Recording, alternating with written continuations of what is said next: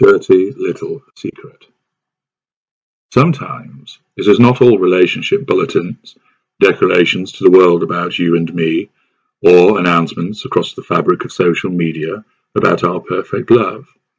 Sometimes you are the dirty little secret. This is never the title afforded to the primary source that we have chosen. It is those who are secondary sources who find themselves labelled in this way.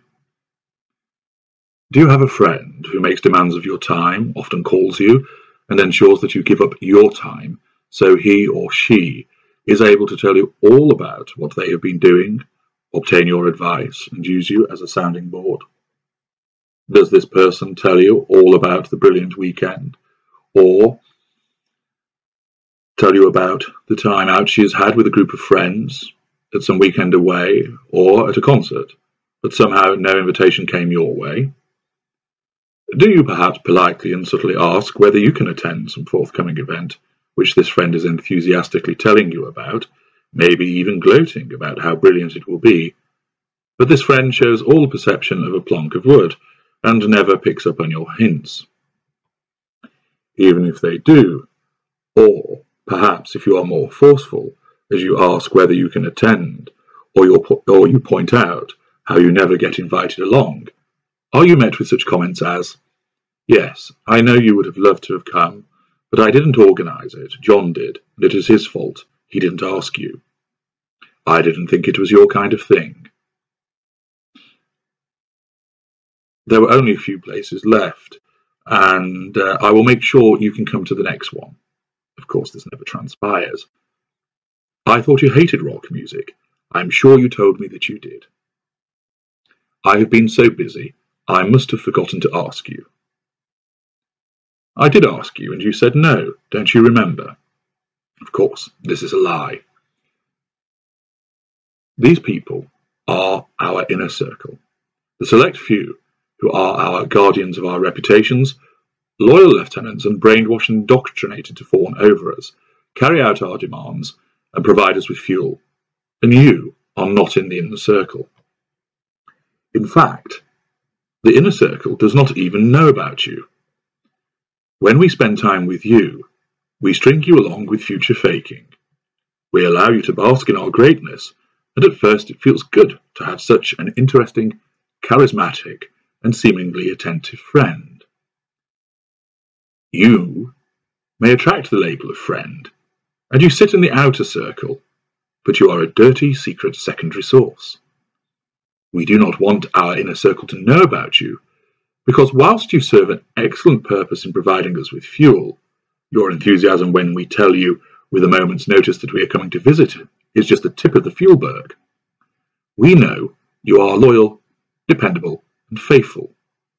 We know you will provide us with the fuel that we need, and you, above everybody else, will be the go to person when fuel stocks are running low.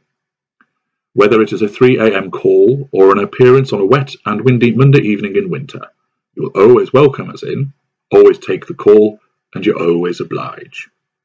We do make you feel special, trotting out the easy to mouth platitudes about how much we like being with you, how we enjoy your company, how it is good to know that we can depend on you. But this is just to keep you sweet and functioning. The reality is, we do not want other people knowing about you because you do not fit with our idea of how our life looks. You might not be as good looking as we would prefer. You might not shine in a group, or you are apt to say unusual things, which we feel would make us look less impressive in front of our all important facade. No, you are kept in the background, used but rarely abused, because you are the long serving indentured servant of the narcissist the loyal hound that sits in the corner of the kitchen, always ready to wag your tail for us, but too old and unappealing to be paraded at the show. This is the role of a dirty secret secondary source. There is also the dirty secret intimate partner secondary source. You were seduced and made into a secondary source, and within the blink of an eye, you were embedded, and the platitudes of love and dedication came pouring forth in order to secure your loyalty. There are those who are earmarked for promotion to primary source, they are destined for better things, so long as they come up to proof with regard to the provision of fuel, character traits, and residual benefits. Those who are on the fast track to being installed as the primary source can expect to meet our children, meet our families and our friends, be paraded, and attend certain events with us, all at the humiliating cost to the currently devalued primary source, who is on their way out. The future is rosy for this person. The dirty secret intimate partner secondary source is never considered for promotion. Words may be whispered to that effect, but they are just false promises, or future faking, and the crumbs of comfort which are scattered to stop you foraging elsewhere. When we allocate you the role of dirty secret, next to nobody knows about you. Whereas the intimate partner, secondary source who is in waiting for the top role, may find themselves being picked up and put down with intervals of silence in between the weekend hookups as we test that person to gauge their suitability for promotion, it is a different story for the dirty secret. The dirty secret actually may see quite a lot of us. In the backs of cars, in seedy motel rooms, the back of the warehouse, the disabled toilet, the alley behind the house, and such like. You are never to be seen by our family, our friends, or even our colleagues. You remain hidden because your presence will offend our facade.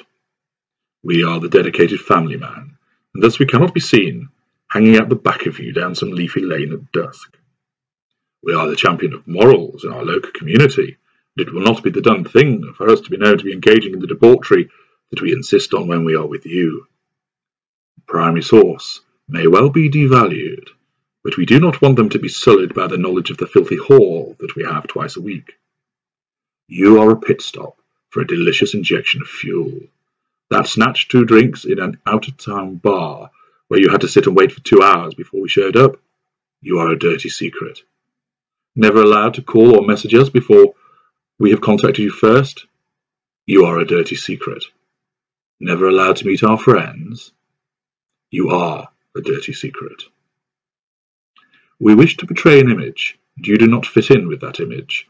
But you are such a potent bundle of fuel, dedicated and desperate even, always hanging on for that stolen hour in bed together, occasional afternoon when we pretend to those at work that we have a meeting in the next state or county. You live for those moments, because in that instant we make you feel wonderful, focus on you, give you the best sex, the excitement, and the promises. Oh, the promises of what could be yours. This future faking is born out of being torn between not wanting to lose a good source of fuel and the potential that an intimate partner secondary source has to perhaps become a primary source at some juncture. We do not want to lose that, thus we keep the intimate partner secondary source hanging on, as I have described in the recording What Am I to Him? It is a different setup for the dirty secret. You were not selected for potential promotion. You were selected because you are dependable, a reliable turbo boost of fuel. When we demand it, you always provide it. Why would we ever let that go? We would not. Like the friend I have described earlier, who is a non-intimate, dirty little secret, you are the same, but with you comes the intimacy, you are the recipient of our oft-spewed sugary charms, and in receipt of our desire to use you for sex and the provision of fuel. We rarely take you anywhere for fear of detection, and our engagements are covert, hurried, and secretive. Yet this adds to our charm, our mystery, and you find it as addictive as we do. It is only when we are going and you wonder what we are doing and who with that you are left to rue the emptiness and the loneliness.